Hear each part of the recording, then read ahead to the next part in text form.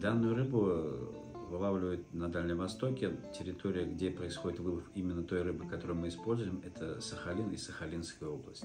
Там э, есть непосредственно у нас партнеры, рыбоперерабатывающие предприятия, которые осуществляется вылов. Вылов корюшки происходит один раз в году, с мая по июнь, тот период, когда она идет на икромет. Происходит вылов в течение месяца, как я сказал, упаковывается и идет доставка порядка месяца в рефрижераторах непосредственно. Все заложено на хранение, и данный объем, который мы приобрели, позволяет э, выполнить объем поставок в сети, с которой мы сотрудничаем, до следующего вылова.